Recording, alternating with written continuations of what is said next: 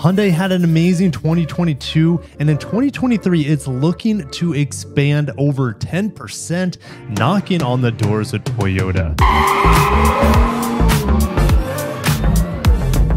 Over at the Hyundai newsroom, Hyundai Motor reports 2022 global sales and 2023 goals. If you're excited to see where Hyundai goes from here, hit the like button and subscribe for industry auto news. I talk about Hyundai all the time on the channel, as well as their biggest rivals from Japan. Uh, they've already passed Honda, they've already passed Nissan in terms of global annual sales, and there's only two players in front of them at this point in time. There's Volkswagen, and then there's good old Toyota and they want to be number one one day. Can they do it? Can they make some room in 2023? Today, we're going to talk about their plan. Hyundai's sales in 2022 were up 1.4%, 3.94 million units. In December, they sold nearly 350,000 units, which is a 4% increase year over year. And the company is targeting more than 4.32 million global vehicle sales in 2023. And you can say, well, Toyota sells around 9 to 10 million per year, but that's just Hyundai and Genesis. If we go to Kia's global page, they're planning to sell 3.2 million. So that's over 7.5 million global units in 2023. They mentioned the Ioniq 5 and Ioniq 6, which Ioniq 6 is only available in Korea as far as I'm aware at this point in time.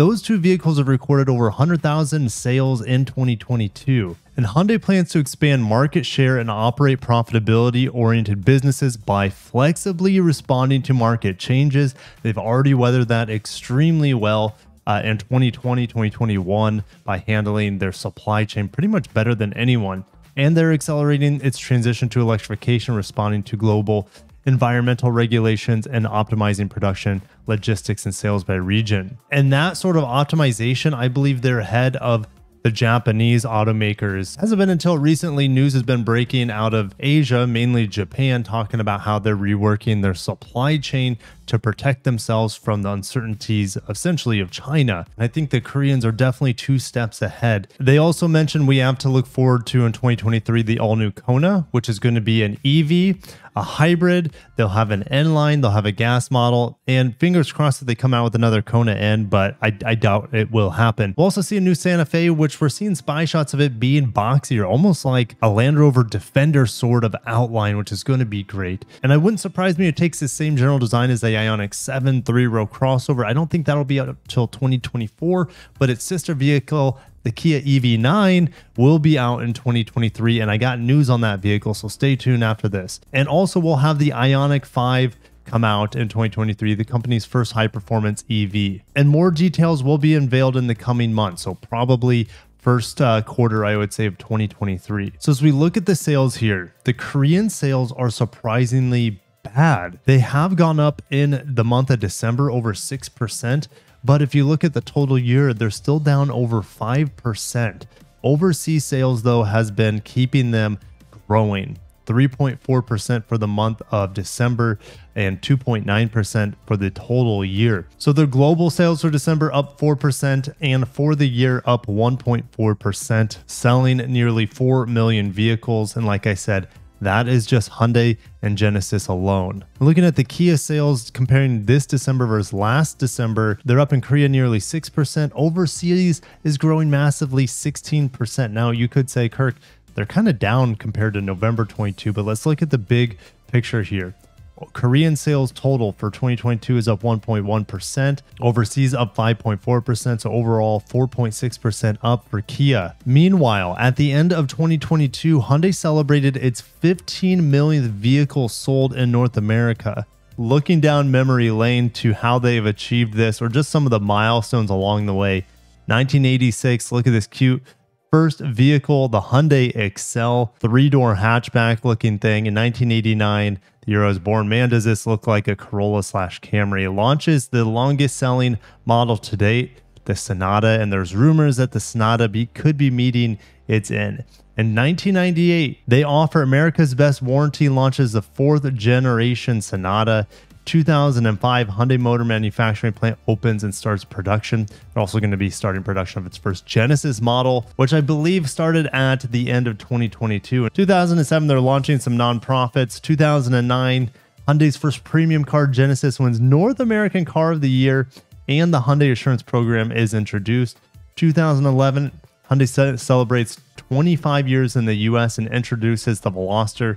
Rest in peace, Veloster. 2012, Elantra wins North American Car of the Year. 2015, Hyundai achieves 10 million sales in the US and launches first ever Sonata plug-in hybrid. I didn't even know there was a Sonata plug-in hybrid. That is outrageous. 2018, Kona fully electric SUV joins the Hyundai lineup and wins North American Car of the Year 2020. Reveals 7th generation Elantra and first ever Elantra hybrid. Still haven't driven the Elantra hybrid. I'd love to drive it to compare to like the Corolla hybrid, for example. In 2021, unveils the highly anticipated Ioniq 5 and Santa Cruz sport adventure vehicle. And in 2022, Ioniq 5 wins Car of the Year, debuts Ioniq 6, and announces its electric vehicle and battery manufacturing facilities. They're investing massively in North America to build EVs here stateside. Pretty much everywhere outside of Korea, people pronounce Hyundai incorrectly. Hyundai is not how they say it over in Korea. And of course, in America, we think the Brits say things funny. So let's play this new commercial just happened eight days ago. Search Hyundai arrived at your destination. Hyundai.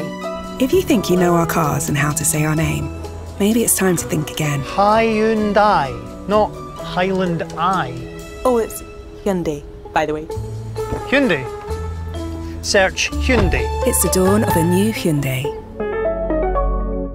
Hyundai is more uh, correct, but Hyundai taught us over a decade ago in America that it's pronounced Hyundai like Sunday. 社長、Hyundai Genesis, North America Car of the Year. Haben Sie das gesehen?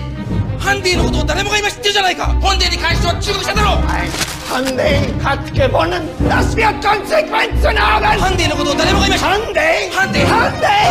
Hyundai. Win one little award, and suddenly everyone gets your name right. It's Hyundai, like Sunday. So that's what's stuck. That is what's in stone, at least here in America. And Great Britain will continue to say it differently than how we say it. Go figure.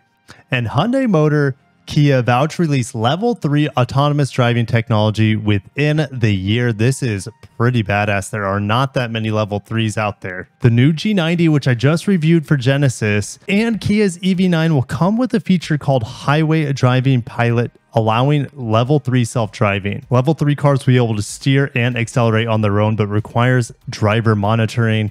Uh, level five is full autonomy. Level one is the lowest. And they're expecting a bigger share in the global EV market thanks to this new uh, driving autonomous software. But even though Hyundai plans to sell 10% more vehicles in 2023, there are still hurdles. COVID 19 pandemic, rising interest rates and prices of vehicles, volatile exchange rates, and geopolitical risks such as the war in Eastern Europe. So I'm going to end it there. Do you think Hyundai can sell 10% more vehicles in 2023, inching closer to Volkswagen and Toyota? I think, man, uh, their electric vehicles are arguably the best in the industry at least the ones I've tested. I haven't driven a whole lot of Teslas recently, but their shine is starting to wear off as more competition hits the market. But I'll see you guys down below. It's fun to talk about the massive growth and improvement in Hyundai Kia and Genesis products. Make sure to check out all my Ioniq 5, EV6, G90, GV60 reviews, and all their gasoline products as well. I'll catch you in the next one. Stay tuned because I will update you as Hyundai continues to expand. Have a great day, have a great start to your new year, and peace out.